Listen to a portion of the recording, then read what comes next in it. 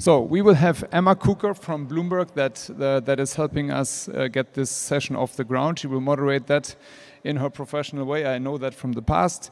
We will have Enrique Villamediana from Panasonic, Jose de la Loggia from Trane, and Karlis Goldstein from the Commission should be with us remotely, and he is already. I can see him here, as not on the on the screen.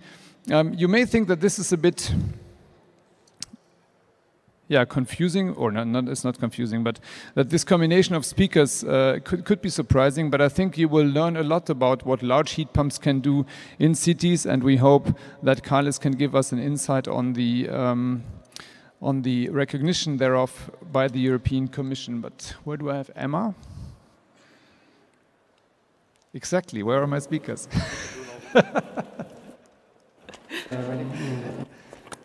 so we really have to say thank you for Bloomberg for, to Bloomberg for sending us uh, three people. We had in the uh, we had also yesterday Meredith Annex with us uh, presenting the new adoption rate curves and adoption rate analysis by Bloomberg. And now I hand over to you, Emma. You, but you are mic'd yeah, already. I I'm think. already so mic'd. Although ahead. I don't have a clicker, is the only thing. Um, there is a clicker, and I will get it to you. Ah, the clicker is coming. Sorry, we were just talking backstage. Feet. Clearly far too long. Thank you so much. So, the floor is yours. Um, I won't go through what Bloomberg New Energy Finance does. Emma did a great job of that. But effectively, I sit in our heating and cooling team, and I specialize in uh, buildings and industry. So, what I'm going to tell you about um, is how we treat heating and cooling uh, at Bloomberg New Energy Finance. And that's in part because today, in our panel discussion, we're going to be talking about cities. And for cities, heating is incredibly important. And that's in large part because of the big, as a significant part of emissions for it. Emissions from for cities, uh, you know, if we're talking scope one and scope two, which is fuel use um, on site and power use, as well as embedded emissions, you know, a significant amount of that is energy use, and is in particular energy use in homes. And so, for our discussion today, I might as well almost kick off the panel discussion because we're going to talk about, you know, what are the front-running technologies, what are some of the digitalization solutions to build on Emma's panel that's just gone, um, and then finally, what are some of our barriers? So, just in short summary, as I know, you know, the audience knows this.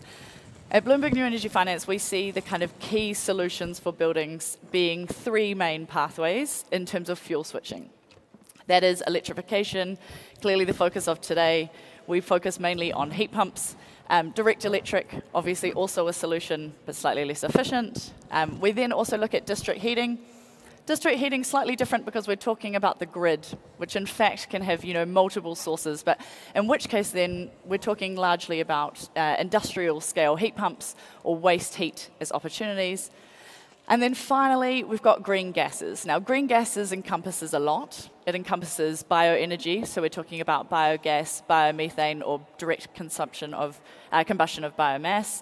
Um, or we're talking about hydrogen and synthetic gases. Now, one of those is hard to scale sustainably, and one of those is less commercially viable today. And I can obviously let you guess which one we think is that. The other side of the pathway, alongside fuel switching, is energy efficiency. And Dan kind of covered that this morning. It's going to play a significant role, but it's not the front runner, right? We need it. It's definitely part of the equation, but it's not the whole equation. And so, with that, I'll invite the panelists up on stage. I think they're still chatting. So, Enrique and Jose, please come up. So, Enrique is the managing director from Panasonic uh, Europe, and we've got Jose from Trane, who is the president in EMEA. And then, last but not least, virtually, we're joined by Carlos, who is a energy efficiency advisor for the European Commission. So first, I'm going to go to Jose as soon as he sits down. Oh, Okay. so okay. I just quickly summarized that electrification was kind of the key pathway, and we've discussed that a lot today. Um, I want to see, you know, how is that playing out for Trane, and, and how are you seeing that kind of unfold? Okay, well, for me, this electrification story is really a once in a generation event. So I've worked in uh, Trane for 27 years, I've done my whole career there. And when I started at Trane, we were really, you know, we're focused on the commercial building space. and we were making chillers that make cold water. So we make cold water, and that cold water can be used either for comfort cooling or you know industrial processes, that sort of thing. And you know we call a lot on mechanical contractors, we call a lot on designers and uh, and building owners, that sort of thing. But really, the market it was very siloed. You have cooling plant and you have a heating plant, and those heating plants have were you know until very recently, until like say five, six years ago, I wasn't even thinking about the heating plants. It's, it's like a fossil fuel plant, and I've, I've learned a lot about how those heating plants work over the last five years, just as a, so let's say, an intellectual type curiosity. But it's incredible that build that we created these silos, and I guess it's technological. In uh, the, the reasons are technological, but the technology has evolved so much over the last five years that now today we're at the point where you can combine these heating and cooling plants into one plant. And uh, when you do that, the energy efficiency improvements are, really Im impressive, right? We can move, you, we, we do combined heating and cooling plants now where they're 400% plus more efficient than before. And there's no direct fossil fuel use on the, uh, on the site. And as well, as you think about electrical grids greening, into the future, something that was always considered a problem, let's say from an environmental point of view, the heating and cooling of buildings, becomes really a true net zero thing because the electricity is produced from zero emissions and that electricity is used to run this combined cooling and heating plant.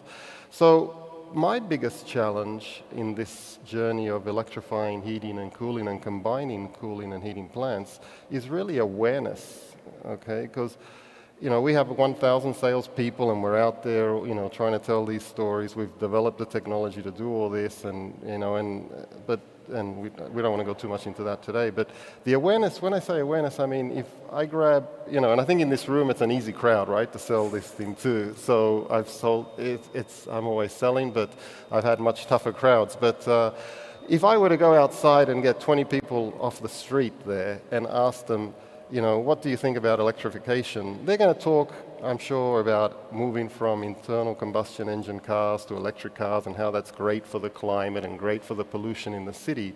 But I'd be surprised if one of those people said to me, do you know that every building around us has chimneys that we don't see because architecturally they're hidden and they're emitting exactly the same thing that the car is emitting, and we can combine that heating and cooling in those buildings and get rid of that and have the same impact on the city than the electric car, and, and nobody knows that, right? So if we could make it, bring that level of energy that we see in the electric car industry to combining heating and cooling plants, this thing would take off. Uh, not that it's not already taking off, like in the last, in 2021, 30% of our revenues are going to come from uh, combined heating and cooling plants. Like five years ago, it was zero. So it's, it's, it's really the fastest part of growth of our business, and I think it's I think it's the future, and there's no way we're going to stop this, right? And there are then other things you can lay on, layer onto it, but I can talk all day about this. So I'll, I'll let you yeah, ask I mean, the next I'll, question. I'll jump in there. I do want to talk about market segments for sure. I mean, you hope the audience knows what a heat pump is, otherwise, yeah, you're in for a bit of a shock today. But um, I'm going to jump to Carlos for this how do we balance that awareness we're talking about for electrification and, and picking a front runner technology with the need to have technology agnostic policy or, or for governments to have technology agnostic policy? Well, thanks very thanks much, very much. Uh, and, uh, uh, hello, hello, to everyone. To everyone. I mean, uh, you've heard already some angles and ideas from the best in academia, policy, industry, and some of my best colleagues. So um, there will be limits to what I can add to the discussion before you head off to the award ceremony and a wonderful dinner and reception. But let me bring you a positive message. The idea here is that the Commission is and has always been uh, about promoting excellence. So this is in fact already embedded in regulation on energy efficiency, renewable energy, and uh, energy market design, not to mention eco-design and the F-gas regulation. Uh, plus, uh, there are additional um, liberties to design measures uh, at other uh, administrative levels, for example, national, local, district. And of course, uh, Jose very kindly uh, mentioned or brought this in is the individual. So awareness and people can make better choices the thing is that choices need to be presented to them. Uh, fortunately, in most cases, in most buildings, they already have an electrical connection. So electrification per se is technically easier than maybe using another type of energy carrier. Um, but I think that the, the main question here is how to overcome uh, the exclusiveness or the luxury aspect of the technology. So what I mean by this, let's maybe use the example of uh, electric mobility as Jose did very conveniently. Who do you see driving Teslas? I mean, these are usually the people who are well aware, uh, they have a steady income, um, so people watch in awe as they drive by uh, silently. And uh, that's the same image that we have uh, for heating, basically. Uh, that uh, if you have solar PV on the roof, then somehow you're privileged. Um, of course, we have took, taken these baby steps uh, with early movers to get to a certain market penetration. But definitely in the coming years, what has to happen is that uh, the technologies will need to become more affordable, more accessible, and more widely used. My thesis is going to be that the technologies already exist. They can be always tinkered and improved, and I'm really happy to hear that we're making efficiency improvements across the board. Uh, and this is really important. But at the same time, we also have to make sure that the technology spreads and reaches the consumers. Um, if we look at the broader scope and contextualize, then, I mean, the aspect of urgency of climate change is really, really evident. And if we sort of contrast it or put it in the context of uh, the building sector, it is the prime example to decarbonize because, first of all, it's really stable. That's why people call it real estate. I mean, it's, it's there for decades. And uh, once you make the right choices in terms of the energy mix, um, you're pretty well set um, and you can pass it on to the next generation. And that's why uh, we're looking at uh, the social aspects of, uh, of uh, the transition really, really closely to make it again acceptable and desirable to switch uh, technologies towards the more renewable options. Um, but there need to be enablers as well. And I would like to bring in the systems angle the energy sector has decarbonized and will continue to decarbonize, but it needs to trickle down and the renewable energy actually has to be used, uh, not just produced and possibly curtailed in some cases. So this is why the efficient technologies uh, coupled with storage, hybrid solutions, and uh, the flexibility that buildings can offer are a prime target for EU policy. Uh, and also I understand that business is really interested in it.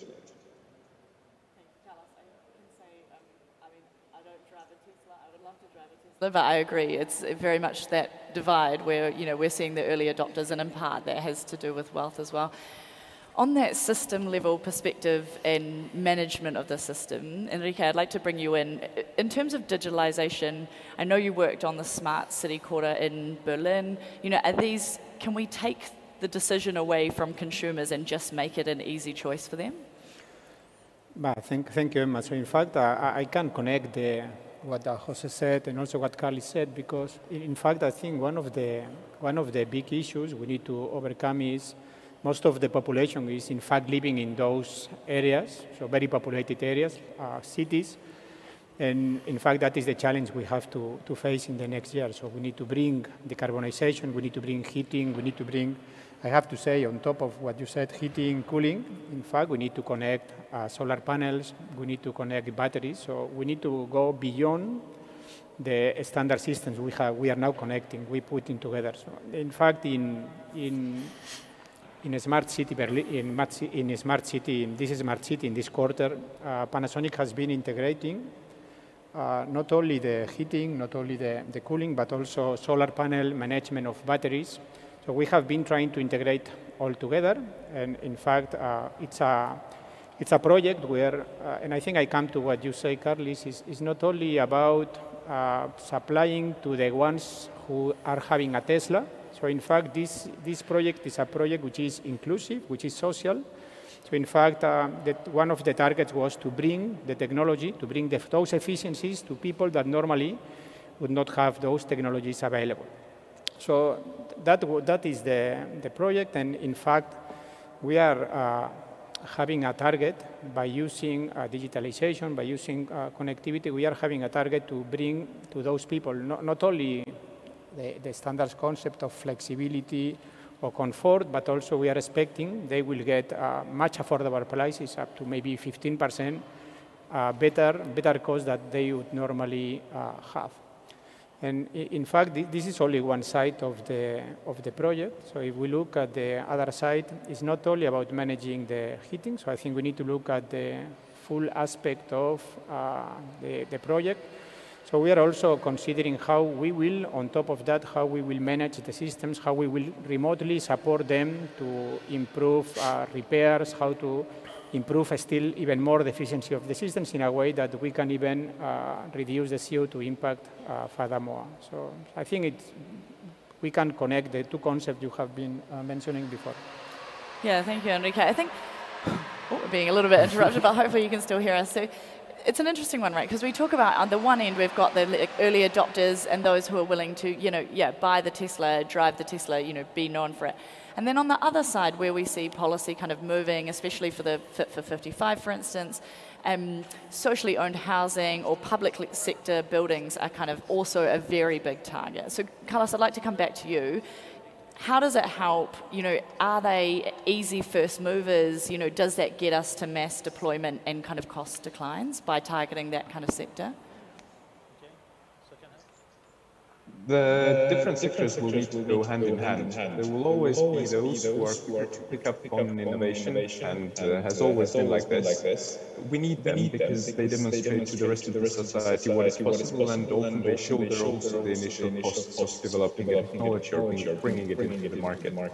They also, also risk, risk uh, uh suffering the bigger losses, losses usually, usually, because, because uh, in uh, case there's no business, no business case, then they, will, have will paid, but there's, but there's no after sales, or the model just, just ceases to exist. And that's, and that's what is the, let's say, cost for the early adopters. At the same At time, the same I, think time I think that we, we uh, as I said in the first part, part, we are already, we are already um, um, beyond the beyond point, the point of uh, proving the technology. technology. The technologies are already out there. So now what now we need is, to, at least from a European perspective, try to make progress in the areas where uh, most, uh, where we can take the longest steps, so where we can advance the fastest. And, and oh, this brings in the, the social sector, but not just, just the worst performing buildings. So the buildings that are um, in, in uh, uh, really bad state of uh, repair, uh, those who waste a lot of energy due to people's ignorance or because they don't make the right choices. It's not necessarily the people who are worse off, but it's just the, the situation of uh, the building that they have uh, let themselves uh, to be found in. So um, all buildings are important, but the, in order to, in order to increase the scale, uh, uh, we have to we look, have at, look at uh, what is out, what is there, out today, today uh, gradually build up the project pipelines, pipelines uh, look, uh, at, look at what resources, what resources are, available, are available and match, and it together with the pace, the pace of, uh, evolution. evolution. And this is the point that, point that the industry is often making, making, that if, that if we have a really ambitious, ambitious target, target, then, then the industry will also need to scale up to meet that demand. So, so the market, the will have to develop, develop uh, uh, but also, but also uh, the finances and, and uh, people's own perception, perception will have to, have to match, match together. together. It all, it all, you could say, starts with the policy ambition, ambition um, but if there's if the ecosystem doesn't support it, it risks simply falling flat. So uh, right now, in, on the European level, we're making available various channels of funding uh, Uh, technical assistance, uh, guidance, and with the revision of the energy performance of buildings directive later on this year, we're also going to look at uh, uh renovation targets, which should uh, upgrade the buildings across the EU to a much higher energy performance level. Perfect. So from a policy perspective too, back to you, Enrique, on from Panasonic's perspective, what are the first movers? You know, where commercially are we seeing it? At, at BNEF, we obviously, and I'm sure this crowd knows well, you know, new build markets are are ripe for low carbon technologies, and in part because of minimum energy performance standards, and in part because they're cheaper. You know, in Germany, for instance, you know, we're seeing kind of upward 40% new builds adopting heat pumps. Do you agree? Is it new builds? Are there other parts of the market that um, are moving naturally without that push? Europe, there are many Europes. So, and we can see a, a lot of speeds uh, of how the market is moving. And yeah, I think uh, you, could, you could see countries where the new and retrofit markets are moving very fast. So you see markets where only new building is moving. You see markets where nothing is moving.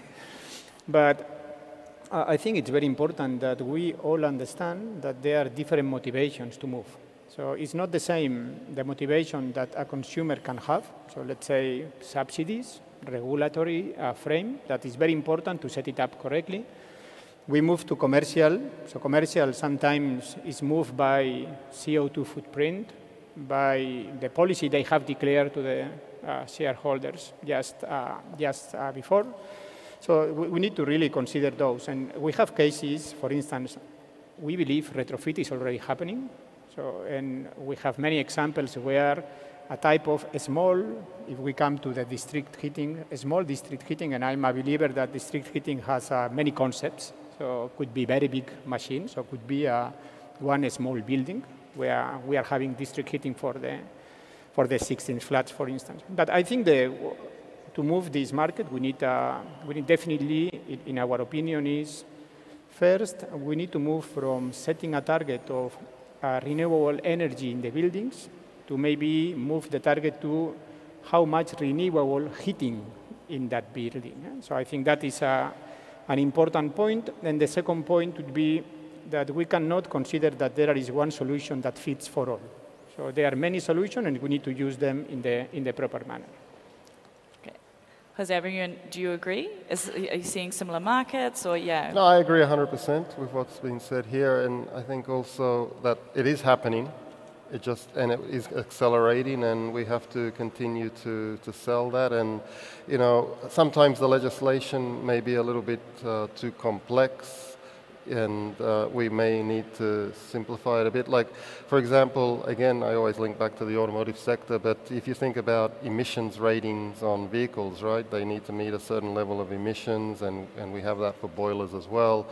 But if you you know, one of the things I always dreamed about, I used to talk at another association about that, you know, there is so much heat being rejected from buildings. Every building is rejecting heat, but there is no legislation at all. You can, you can reject all the heat you want into the atmosphere, and no one is even measuring that or legislating against that. And rejecting heat is just rejecting energy. So maybe we need to look at things at a little bit higher level and say, okay, we should treat rejecting heat just like we treat rejecting emissions and maybe somehow tax it or something, and that will drive people into, you know, more of this idea of combining heating and cooling. Yeah, perfect. Carlos, I'd like to come back to you on, on almost both of those points. So they were kind of specific to policy mechanisms we could use. So has you know the European Commission considered things around wasted energy or, or reuse of um, yeah exactly rejected energy today? Um, that kind of plays towards energy efficiency, right? And Enrique's point on do we need to be more specific in terms of targets for heating, where the words are more tailored to heating specific rather than buildings or the or the system level? First, on wasted energy, that's already at the core of the Energy Efficiency Directive. And also in the Renewable Energy Directive, you can count the use of the wasted energy as a renewable energy. What this means is that if you manage to capture uh, energy, then uh, that you can account together with your renewables.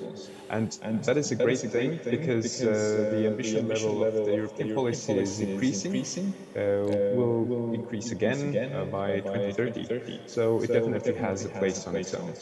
Now about, about specific, specific targets, targets uh, for heating, heating and heat use, use um, we're already looking at uh, the renewable energy delivered to uh, the final customers. And if you couple that with the point I raised before about waste energy, uh, there you have a certain model that uh, helps waste energy capture and reuse uh, find its place. The question there, I think, is more of matching up the physical infrastructure and planning because uh, even though uh, the technology might exist, the heat or cold source might exist, uh, you need to plan, you need to link up uh, different consumers and providers. And um, this requires certain agreements and levels of trust that uh, sometimes need uh, either documenting or a level of legislation to support. How this, How is, this done, is done, I mean, each handshake, handshake cannot be regulated, regulated on an EU level, level. So there's so definitely, definitely an individual, individual component, component to, that. to that. Yeah, we uh, at BNEF have been looking exactly at that, at waste energy and how you can effectively ensure a contractual offtake for a certain amount of time. When, when we're talking about district heat, right, you want a secured contract, but then how do you negotiate the price for that? I'm wondering, does that come into considerations for, you know, for heat pumps that are fueled by waste heat for, say, Trane, Jose, if I bring you in, does, it, does that factor in? Or, or are you more talking about use within one industrial site, so they're just reusing their own, own waste energy? Well, I think the, the, you know, the fact that we classify heat pumps and waste heat as a renewable energy source is, is a fantastic thing. I don't think it's well understood in industry so much that it, it you know, usually people associate renewable uh, energy with, you know, windmills and, and PV panels, right? But uh, I think it's, it's good that that's happening. And it does factor into a lot of the projects we do, right? That uh, when you can grab heat from a source, you can have more efficient uh, heat pumps. So for example, you can move away from air source heat pumps to, let's say, water-to-water heat pumps, which are obviously much, much more efficient, both from a cooling and heating point of view, and that reduces the payback of projects. So it's certainly happening, but uh, it, we need to, all of us work together to accelerate it, right? Yeah, for sure. Mm. It, yeah, it comes down to kind of, yeah, knowledge of mm. the policy for sure and the incentives around it. Enrique, are you seeing what are the dominant types of heat pumps you're seeing play out across Europe? So, you know, Europe kind of is known as the hydronic heating systems. Is it air to water? Is it water to water? Or, do you ever see a move to air to air or, or yeah, air-based systems? I think it's uh, many types. So I, I, I would like the ones we sell to dominate, but I think, I, think it's, a, it's very important to understand, as I said before, is there is not one solution that fits for all. So I, and I think in, in, Panasonic opinion, it shouldn't be the, the debate which, which system is the, the one dominating. I think what we need to try to do is to integrate all the systems. So in fact, for us, uh, an important point is how to moving to this uh, digitalization, moving to this uh, uh high, higher standard of, of control, how to be able to manage a group. For instance, uh, in, in our case, we have already more than 100,000 heat pumps connected. But in reality, we are not doing much of that. So how we could move to, to the next level in that sense, how we could benefit.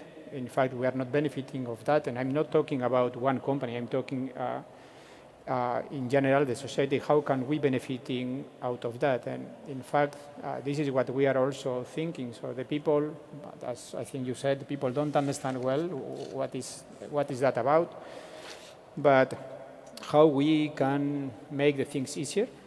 So, and, and also how we can create a frame where uh, it does not matter if you have manufacturer A, B, C, or D, how you can have an easy system. I, I, would say I'm talking about standards, communication standards, where you can bring the total system into a, a way that could be managed as one set and then come to the social responsibility, improvement of, uh, of all the system as a total. Yeah.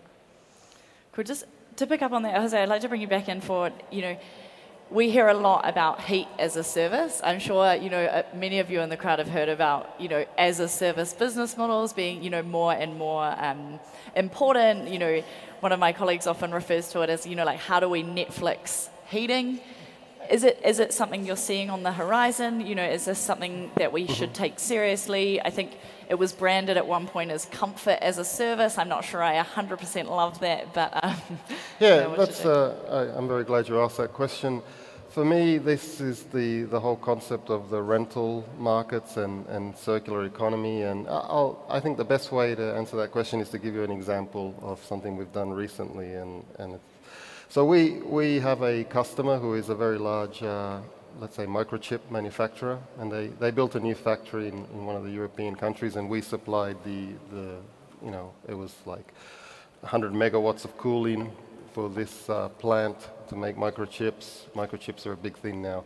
And uh, the process of making microchips also requires a lot of heating because you need to have humidity control and things like that. And usually, you know, we've sold machines that will do that recover the heat. But there, you know, when the process is in balance, you can use those machines. But a lot of the time, the process is out of balance, meaning that they need to generate some heat because they, cannot recover the heat from the cooling. So usually this kind of, and this is, a this is a sophisticated company, a big company, I don't want to name it, but it's a big company. What their process was, was that when they built a factory, they would also purchase a lot of uh, boilers, right? And these boilers were used maybe two, three months of the year to manage this uh, period of uh, where they don't have enough heat coming from the cooling process. So what we said to them, since we had the good relationship with them and, and they understand that we, are, that we know what we're talking about, we said, instead of buying these boilers, why don't you rent some commercial, you know, some large, you know, it's 14 megawatts of heat pumps and they're air source heat pumps when you need them. You call us, we bring them to you on 14 trucks, you connect it to your system, it's going to do the same thing as the, the fossil fuel uh, burning. So initially they were a little bit skeptical about it, but we showed them everything, and they did it. And it's incredible how much money they have saved. And so they saved millions of liters of diesel oil because these uh, boilers were running on diesel oil, and uh, and they and they saved the, the environment, they saved the money, and every year now they're renting. So that is an example of heating as a service. But you have to go out there and see where these imbalances are, and then wherever there's an imbalance, it's an opportunity to sell heating as a service or cooling as a service. And the great thing is that when you do that, you help that customer, but that equipment can be used by somebody else, which leads into this idea of the sharing economy and all these things. So it's, it's definitely a, a lot of potential, and our rental business is a, a big part of our company as well. Okay, interesting. Yeah, we've seen the rental model plays out right for businesses that want you know, off balance sheet financing, if they don't want to have to write down assets, you know, their debt ratios might not be great. Um, so it's definitely an opportunity for that. We've seen there's a company in um, the US, Dandelion, I'm sure you guys are aware, but they do residential heat pumps as a service. Um, a really interesting company as kind of a spin out from uh, Alphabet. So um, yeah, they've been one to watch. They actually do ground source, which intriguing for me. I'm, I'm not entirely sure how easy it is to take it back if someone defaults, but um, they've assured me it works for the moment. Um, Karlis, I'd like to bring you in on that how does policy keep up with this if we're, you know, if we're trying to experiment with, you know, business models or different ways of, of heating? Is, is policy flexible enough? Do you think it's flexible enough to both encourage low carbon and also allow this? EU, likes, to get into, get everything, into that's, that's new, dynamic, dynamic and, uh, uh, of course we have an innovation policy, policy, notably, notably through the Horizon Europe and Life programs. I don't think, I don't we, think have we have quite the program, program called uh, uh Flex Energy or the likes just yet. Um, that's because that's policy because cannot run ahead of life. I mean, I mean, if you imagine a river, then you first need a source of water uh, before you start escaping the shores and building a nice canal. This means that the broader scale, policy must allow for markets to develop. So by no means should policy be an obstacle uh, towards the desirable developments. Um, and, and, this is why fundamentally uh, things are technology neutral. Um, citizens, citizens come at the core of the public policy, uh, and, and this is, this is what, what the, I would turn it around and say it's public policy as a service. And, and, this is called democracy, basically. Uh, so, there is no compromise that can be made on, on consumer protection. And these considerations also uh, dictate the pace at which policy goes. So what remains is the policy uh, for what remains is the possibility for companies to conquer new territory and offer new user experiences. And it's really about quality management and building trust in these new things. Um, because I mean, not only your own car is a bit, you know, scary once you realize that you can also take the train and use uh, ride-hailing services. So um, it's about developing a sort of uh, confidence in, in, a new way of life the fact that if you trust the system, it's going to pay off. Like if you trust the energy manager uh, to make the right choices for you, to install the right heater, to uh, run it at the temperatures uh, at the times where it's most optimal, you might end up making money out of it. And uh, at the same time, you help the system and reduce the system running costs. So this is the sort of thinking that we should get more uh, predominant. The question there is, of course, access to data, and also the willingness of uh, companies to pick it up and uh, develop a new strand that might be, uh, let's say, resource intensive in, in the start, but could pay off in the long run. Yeah, precisely. So I, I, know we're getting kind of late in the afternoon. I'm sure, you know, people are kind of starting to flag after a delicious lunch. So what I want to do is I want to ask one quick fire question to the panelists and then we have about 10 minutes for audience Q&A. I know that there was no takers last time, so this is your warning. Um, if you'd like to ask a question, I feel like just standing up might also wake people up as well. But before we do that, just a quick fire round, starting with you, Enrique. If you could do one thing that would have the biggest impact in the next five years, in two words, no, I'm just kidding. Um, biggest impact in the next five years, what are we, what are we doing? Uh, strong digitalization of society, enhance the electrification, and even more important, explain that to the consumers. So digital electrification, tell people what they should do. yes. yeah, Jose? Yeah, I think the, the thing we have to do is continue to break these sort of energy silos within the economy, right? Like if you think about electric mobility or electrical storage, electrical power production, cooling, heating, they've all developed in silos for technological reasons over the last hundred or so years. I think today with uh, the technologies around digitalization, all of these things can be interconnected and when you connect them all, you end up with a much, you end up in a much more efficient place. So obviously I'm working very hard with our business to break the cooling and heating uh, silo, but cooling and heating silo broken with, you know, if I think electric vehicles and, and batteries, that's like a, a, place where you can really break the silo on storage. You can think about then thermal storage, and the whole thing can be one ecosystem, which could be thousands of percents more efficient. And this is what we should all drive to do. Cool. Let's all work together. Not quite quick fire, but we'll let you off. Karlis, last one. Well, I completely, well, I completely echo, what Jose, Jose said, said, because basically, basically uh, it's, about it's about the end user experience, experience and about making smart decisions in that. So absolutely for uh, breaking silos, uh, not just in heating and cooling, but really across sectors. Um, if we speak about mobility, if we speak about how people trade, interact, do their uh, shoppings on the weekends. So when we speak about decarbonization specifically, the power actually is with the people. Yeah, exactly. I agree. It's, yeah, we all need to move together. And I think heating for a long time has sat in the too hard basket and net zero doesn't let it sit there anymore. I still remember when, you know, some of the targets were, you know, 80% and everyone was like, oh, it's okay, we're in the 20%. and every sector was in the 20%. So, you know, obviously the, the math doesn't quite work out.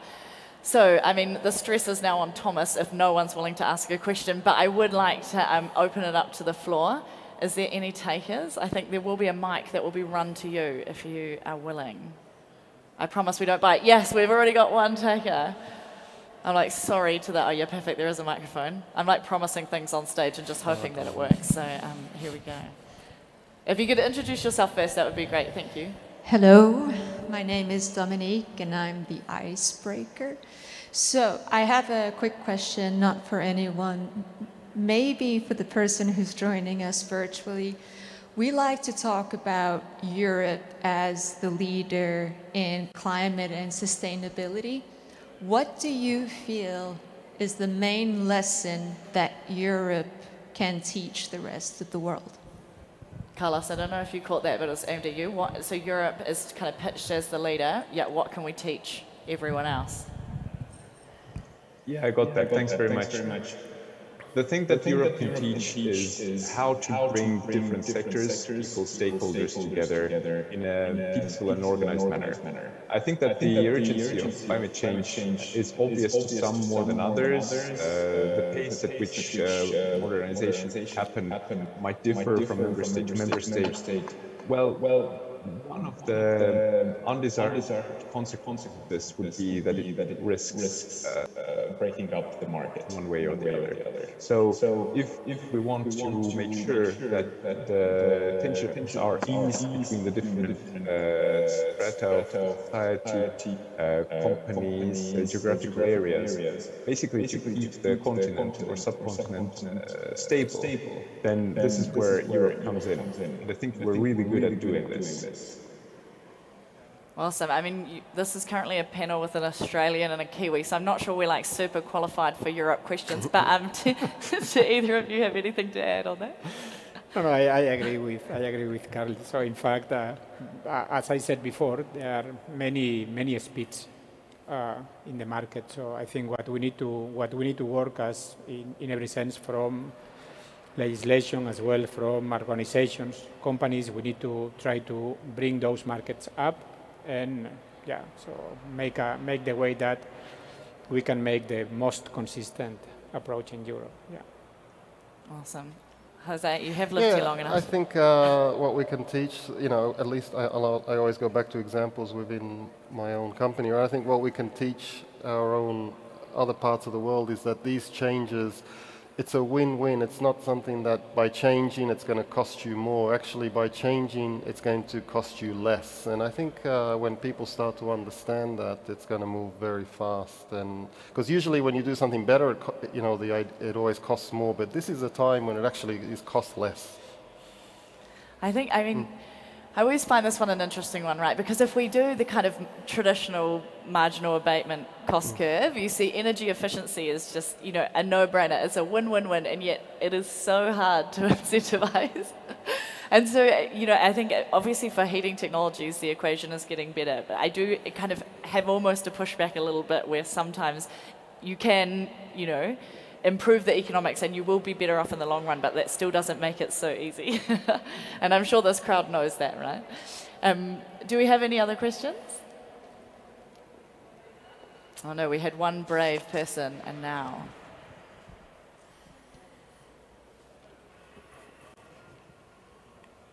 You've got 10 seconds, otherwise Thomas, I think, swoops in. Here we go. So we make it five. I will not ask another question. I think this was a very interesting session, and as I said, we don't have the cities here yet, but you provided the, um, the solution perspective. And at the conference in Vienna, we will have the cities, the problem owners perspective. So thank you very much yeah. for moderation and input provision. Also, Karlis, Karlis, you will get your tree. It will grow anyways without us handing over the certificate, but there is a tree for everybody. So Emma, thank you very okay. much for, for the moderation. Also, thank you so much. Hopefully it offsets my Eurostar here. thank, thank you very much. Thank you, no, Thank you very much, guys. And yeah, well, I think we were just the pitch for the future Decarb of Cities conference. So if you want to hear a bit more, um, yeah, please feel free to yeah, come and along. then we can also present your slides, Emma. Oh, yeah. Apologies for that. so you have a reason to come back. Thank you very much. Thank you very nice much, guys. Thank you very much. Thank you. Thank you.